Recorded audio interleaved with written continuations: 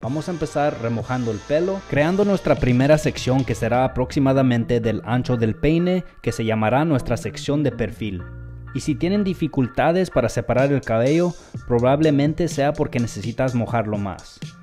Esta sección se utilizará como nuestra guía para la longitud en la parte superior.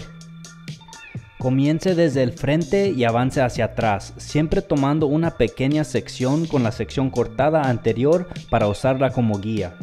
Una vez que hemos terminado esta primera guía, vuelvan a peinar el pelo hacia atrás y ahora dividen esa sección de perfil por la mitad. De modo que ahora cuando extraigamos las secciones horizontales, esta sección de perfil se usará como nuestra guía. Muy simple y ahora nomás sigan hacia adelante. Y ahora solo repiten lo mismo en el otro lado.